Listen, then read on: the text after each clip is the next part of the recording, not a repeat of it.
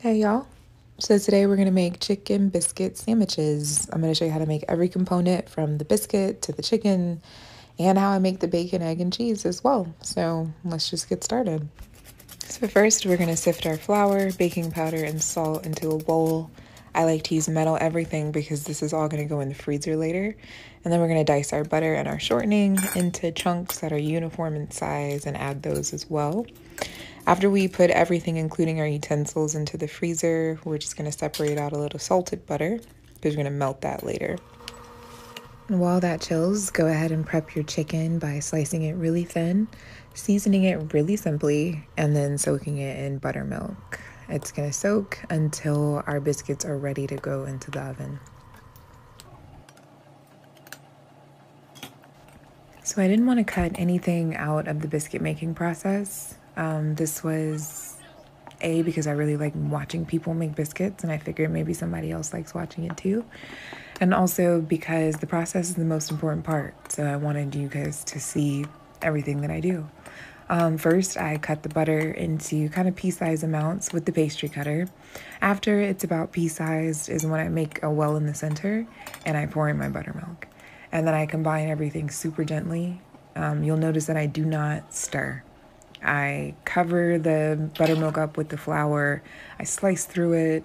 I turn the, you know, turn it on top of itself. I do all kinds of things, but I don't stir it.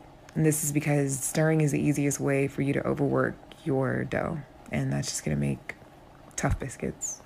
Um, but after it's combined enough where it kind of just generally sticks together, you want to turn it out onto a floured surface and kind of mold it into a discernible shape so we can start rolling it out and making our layers.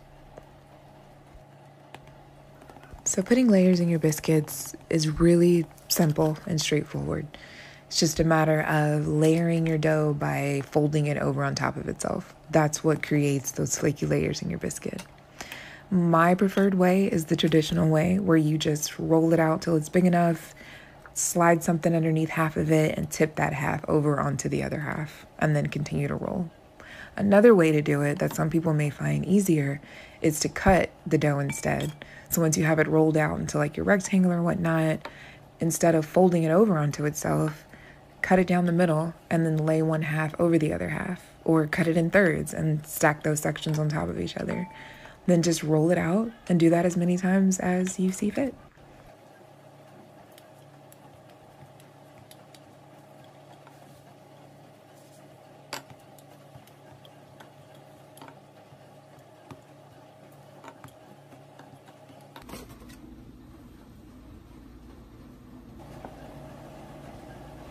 Not twisting the cutter is the most important thing here. If you're going to use a glass, that's fine. Just don't twist the cutter. It's going to seal up the sides and make all the work you did for layers useless. And speaking of layers, you can actually see them in the dough that we're removing from the sides of the biscuits. You can see all those layers we did. Well, I can see them at least.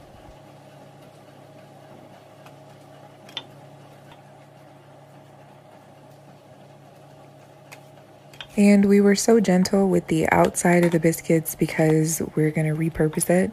It's way too much dough to go to waste. So make as many biscuits as you can, or enough to fill up your pan at least. I usually make a couple for my dog as well. You're going to brush them with butter, the salted butter that we melted earlier.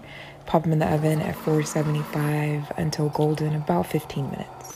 And now for our chicken fry, we're gonna put two parts flour to one part cornstarch and season it liberally to taste.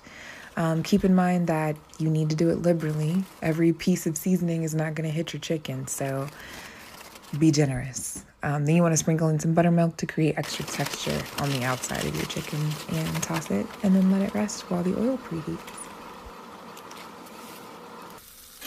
I don't want to hear anything about my frying pan. Okay, I love this pan.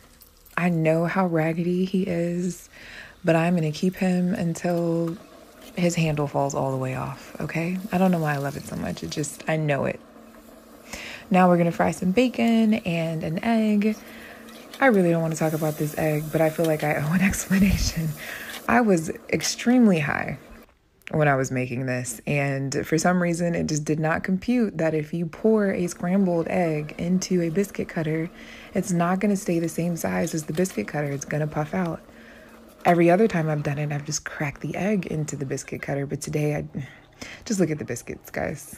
Look at the biscuits.